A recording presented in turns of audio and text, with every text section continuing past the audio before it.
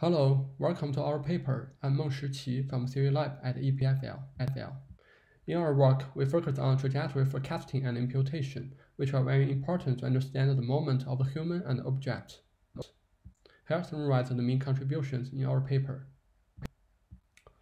Our proposed model mainly consists of two parts. The upper part is the RC-VAE demonstrator for predicting the future, and the bottom part is the RNERT learner to impute the missing value. We also introduced the imitation modular to enable the RC-VAE demonstrator can supervise the NART learner during the decoding process. In experiment, we showed quantitative results of our model compared with the state of art on the three data sets.